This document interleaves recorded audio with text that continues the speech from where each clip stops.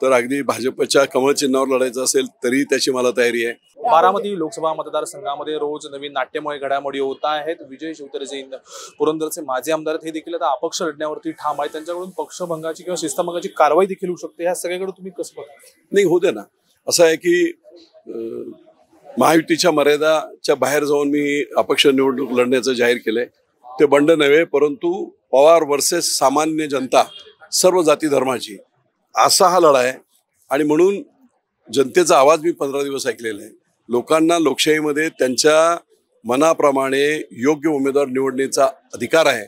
आणि तो अधिकार गाजवण्यासाठी तो अधिकार प्रत्यक्षात उमट उम उमटवण्यासाठी तिथे फक्त सुप्रियाताईंनी सुनेत्रताई असतील तर तिसरा पर्याय पवार विरोधी म्हणून जो आहे त्याच्यासाठी मी तिथे उभा आहे. बाकी माझं दुसरं मग शिस्तभंगाची जर कारवाई झाली मुख्यमंत्र्यांचं तुमचं काही बोलणं झालं कारण शंभूराज देसाई देखील तुमची समजूत काढण्याचा प्रयत्न करणार मी- शंभूराजी देसाईंना काल भेटलो होतो.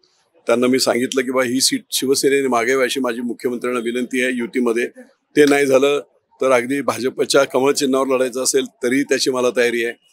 अंडर करंट काय आहे हे मी त्यांना समजावून सांगितलेलं आहे. त्याच्या वर जाऊन जर ते माझ्यावर मी हे हे करतोय म्हणून शिस्तभंगाची कारवाई करत असतील तर मी मंत्री महोदयांना सांगितलेलं आहे की बा मी स्वतःहून राजीनामा देईल. मला काय त्याच्यातून बाहेर पडेल.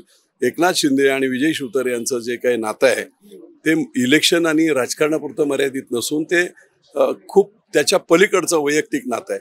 दोन तीन महिने बाजूला होईल. परत आहे एकत्र निवडून येणार मी शंभर टक्के. आल्यानंतर पुन्हा बहीणबरोबर. निश्चितच तुम्ही आणि या विधानसभा मतदारसंघामध्ये थोपट्यांची देखील भेट घेतलेली आहे. थोपट्यांकडून काही तुम्हाला आश्वासन? काय आश्वासन आता झालं ते जुनं झालं.